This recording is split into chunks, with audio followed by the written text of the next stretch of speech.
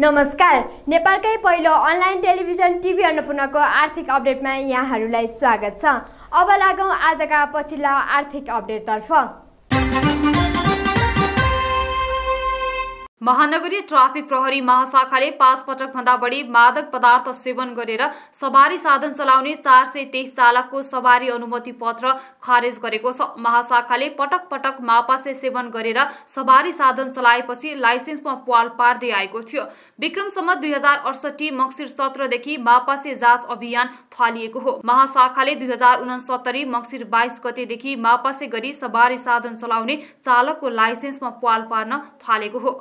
हालसम्म विभिन्न चरणमा गरी एक लाख अठहत्तर हजार एक सय अन्ठानब्बे चालकको लाइसेन्समा पाल पारिएको महाशाखाका प्रमुख एवं प्रहरी वरिष्ठ उपरीक्षक वसन्त कुमार पन्तले जानकारी दिनुभयो।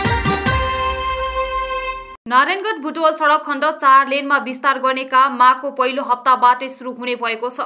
काम शुरू गर्नका लागि पुसको अन्तिम साता प्रधानमन्त्री केपी शर्मा ओलीले शिलान्यास गर्ने तयारी गरिएको छ। भौतिक पूर्वाधार तथा यातायात मन्त्री रघुवीर महासेठका अनुसार यही खण्डबाट पूर्व पश्चिम राजमार्ग चार लेनको बनाउने काम शुरू हुनेछ।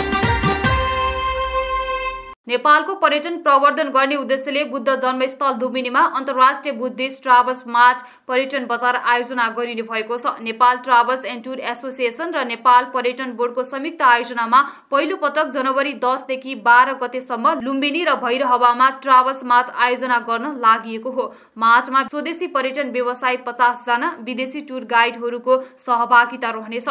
यसका लागि हालसम्म पन्ध्र देशबाट पचासवटा निवेदन प्राप्त भइसकेको नाटा महासचिव रमेश थापाले जानकारी दिनुभयो।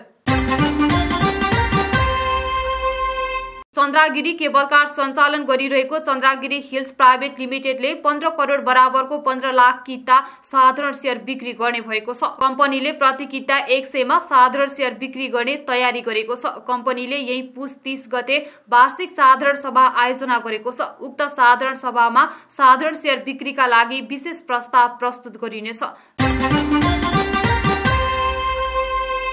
आजको लागि टिभी अन्नपूर्ण आर्थिक अपडेट यति नै। निरन्तर अपडेटका लागि टिभी अन्नपूर्ण हेर्दै गर्नुहोला। नमस्कार।